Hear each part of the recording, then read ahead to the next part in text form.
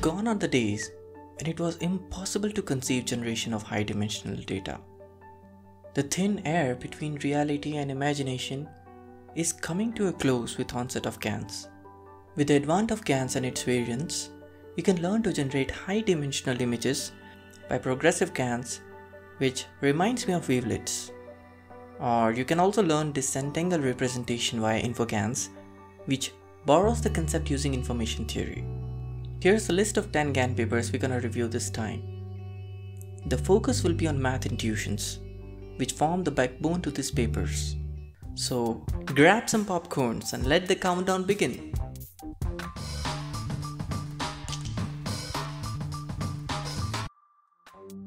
Latent vector mapping ain't proper, why? Cause the vectors and images ain't walking side by side. Maximizing the mutual information.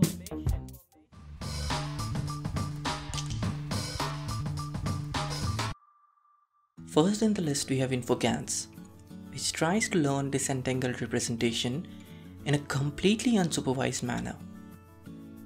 I find this paper really interesting because it rightly applies the concept of mutual information.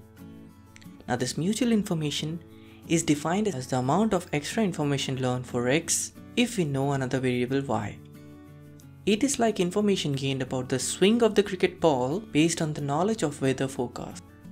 This is simply self-entropy minus conditional entropy. h of x given y is the amount of confusion or randomness which is eliminated because of the additional knowledge of y. This yields us a term which has less entropy or more confidence. Here, we want to maximize the mutual information between the latent vector and the generated image. This means the latent vector and the image should be approximately mapping. That's cause the knowledge of the image will directly correspond to the knowledge of latent vector unlike the normal GANs, where the same image can be mowed to or entangled to multiple latent vectors or many regions in the latent space. For achieving this disentanglement, we introduce an auxiliary neural network Q which maps back the generated images to the latent vectors and maximizes this mutual information between the distributions of C given X and the original C. This is done by minimizing the entropy term. The representation becomes absolutely disentangled if this log logic term becomes 0 and Li becomes equal to Hz. I mean, this is a very beautiful application of information theory in GANs.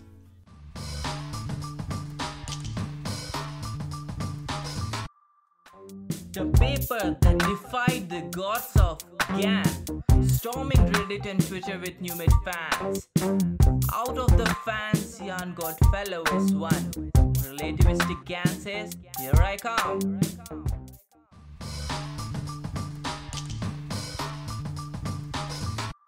Recently I came across this post on Reddit ML group about relativistic GANs. The idea not just blew my mind, but even Ian Goodfellow himself had to tweet in appreciation. The author has aptly argued an interesting point in GANs. It says that the mad push by discriminator to classify real as 1 is catastrophic in learning process. In fact, it says that this should have been taken care in the very first paper of GANs. Brave, right? This got me into reading it, and I found out that the argument is quite valid. Now, why would we want the discriminator to be bad for real images? Sounds counterintuitive, right? But when the generator has sufficiently learned to produce real images, this highly annoying habit of discriminator to put everything in brackets of 0 and 1 can make the system unstable. In reality, both for real and fake images, the values will be hovering around 0.5 and even a small nudge from 0.5 to 0.55 for the fakes by generator can possibly lead to fake being more real than real itself. This is an extremely unstable mapping, like an inverted pendulum. Therefore, the paper says that, like WGANs or BEGANs, etc., the laws of the discriminator should be relativistic, so that the generator learns better. This discrimination is also brought down by maximizing the difference between the critic's value for reals and fakes. Now the paper has two answers to this, which can be applied to most of the existing architectures. The discriminator is called critic in this case because it is no longer discriminating as such. It's rather giving a critical value for real and fake images. 1. Maximize the sigmoid of the difference between the critic's value, which is referred to as RSGAN. The other variant is relativistic average standard GAN, which intends to consider different losses for real and fake images. For fake images, the loss minimizes the difference of fake images critic value from the mean average of real images critic value and vice versa. This improves the overall stability of the critic and also allows the generator to peekaboo the overall loss function. While it was restricted to act based on only one of the above terms, but in standard GANs, the generator was oblivious to one of the terms. So all I can say is that this is a fantastic analysis and proposition. You get 100 Reddit karma.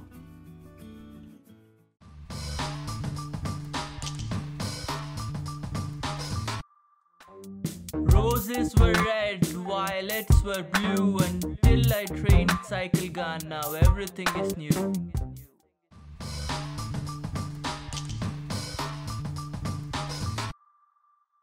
Next up, we have cycle GANs. The idea used in cycle GANs is truly amazing. Learning direct domain transfer is quite interesting. I guess this horse to zebra image mapping has done a lot of rounds on Twitter and other social media.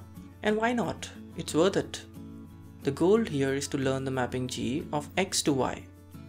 The generator is not picking up some latent vector to generate, rather, it is using the image to bootstrap. Now we use the normal adversarial loss term, treating g of x as the generated image and y as the real image.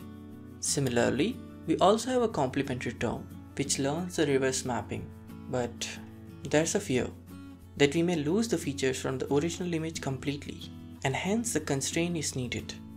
Therefore, we introduce the cyclic constraint for both mapping and reverse mapping operation. The overall loss looks something like this, which is having loss corresponding to the original mapping operation, the original inverse mapping operation, and the cyclical mapping operation. This is a simple but powerful idea for domain transfer.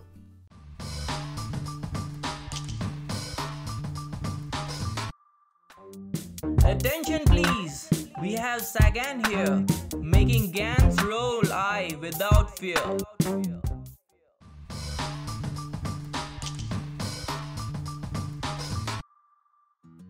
SAGAN is a recent paper published by Hans Zhang et al., co-authored by Ian Goodfellow himself, where he talks about bringing attention mechanism in generators and discriminator of GANs. This is done by applying 1 cross 1 convolution across the full depth of features, followed by a dot product to give an attention map. It's followed by multiplication of softmax version of this map with original features, so as to boost the features in the region of attention. The attention map improves cause these 1 cross 1 convolution filters are learned to give the best results. Best thing is, only very few weights are there to learn. It is giving one of the best inception score as compared to its counterparts.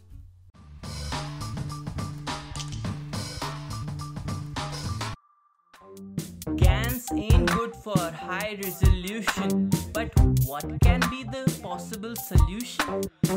Progressively increase the complexity like wavelets, Pro GANs made it easy peasy.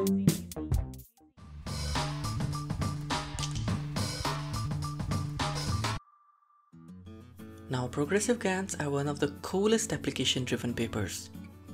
The idea of the paper brings back the memory of good old wavelets. That is, it progressively increases the complexity of learning tasks, just the way we teach stuff to kids. We first ask it to learn the distribution of 4x4 image, which is highly downscaled version of the original image. Then we slowly add the layers to both generator and discriminator to tackle the task of learning 8x8 image, 16x16 image and so on until we generate a full-blown 1024x1024 image. Pretty cool, right?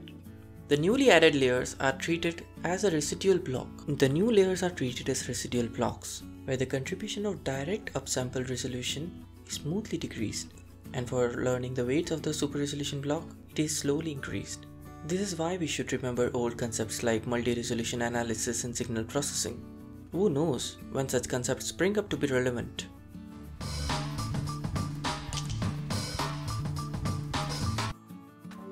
Wanna know all rules for training GANs? It ain't DC comic, it's DC GAN.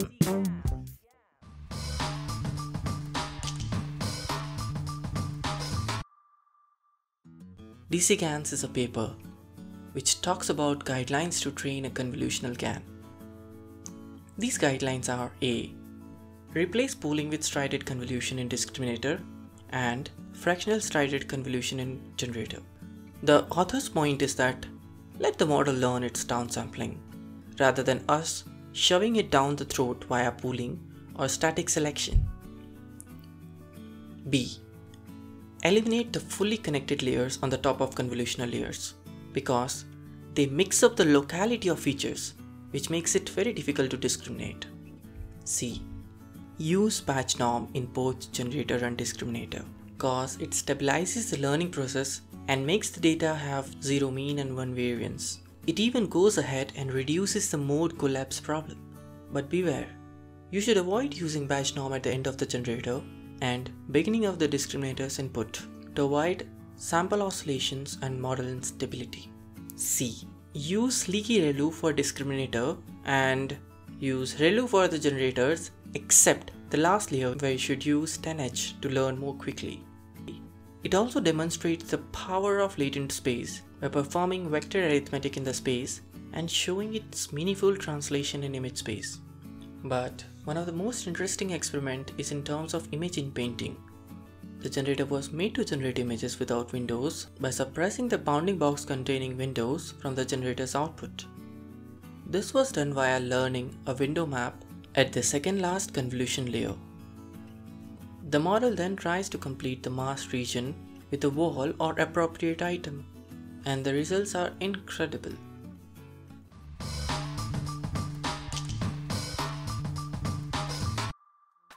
It ain't alchemy, it's hardcore math. Bringing stability, banishing the mode collapse. With a bit of vodka, get the model high. Making it map continuous, that's WGAN guys.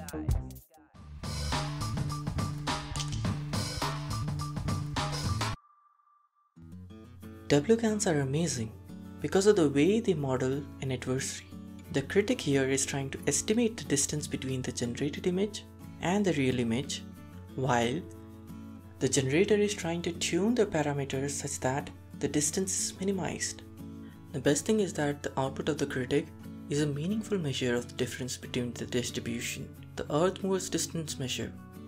Plus, it eliminates the problem of mode collapse because the generator is not moving towards a single point or mode favored by the discriminator, rather, it is moving towards the distribution itself. The paper has a lot of math explained why the Earth movers distance rocks and ensures continuity and almost differentiability of probability mapping under some constraints.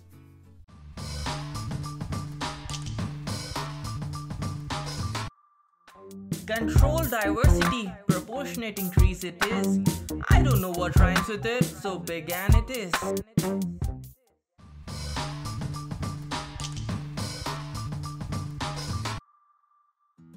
Now in BEGAN, we are considering encoder-decoder as a discriminator.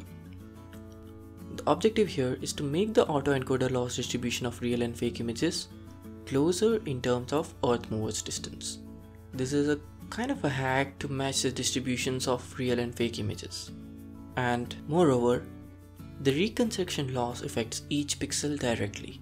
Now instead of enforcing Lipschitz conditions like WGANs, it considers the lower bound of distance and works with it. But do note, in WGANs, we meddle with the distance between the image distribution, but here we are meddling with autoencoder losses. The lower bound is given by the absolute difference between the mean of the reconstruction loss distributions. Based on these two probabilities, it considers maximizing the difference for the discriminator and minimizing the same for generator. It also introduces the diversity coefficient, which is approximately equal to the ratio of expected loss generated to expected loss of the original image. Ideally this should be 1, but we don't want generator to ever become overconfident have the distribution similar to the original images. Hence, we keep the mean slightly lower than the original images. If we keep it close to 0, then the diversity in generated images will be less as it focuses more on auto-encoding real images.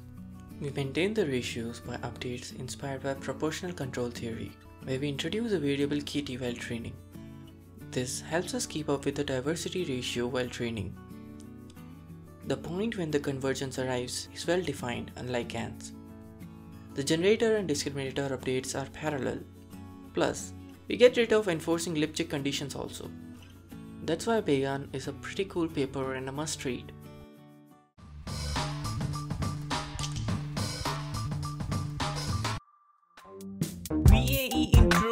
Introduces randomness in encoder to whip the latent space and make it in order. The only twist is in the training part, adding adversary and that's VAE.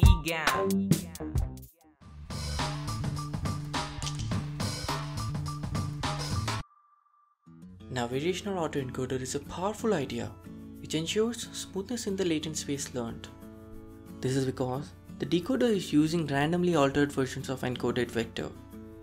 I guess Arxiv Insight has done a truly amazing job in doing justice to the math insights involved in VAE. Check out the video link in the description. Now VAE GAN considers the decoder part as generator for GANs and along with the original loss, we also have an adversarial loss. In the original loss, we maximize the expectation of x given z. While z is stochastic in nature, we restrict the variability of latent space in VAE by a regularizer term bringing it closer to uniform normal distribution.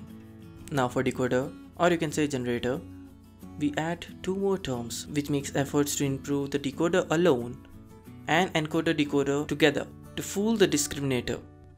On the other hand, the discriminator tries to get better by creating rift between generated images and original images. Three cheers to Larsen et al. for his wonderful paper.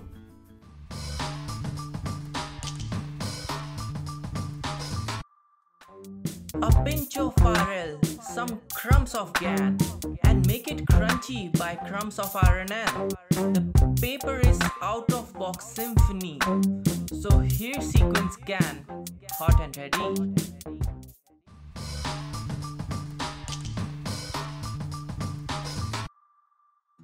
Sequence GAN is an interesting GAN because it attempts to combine RL, sequence learning, and GANs in a sensible way.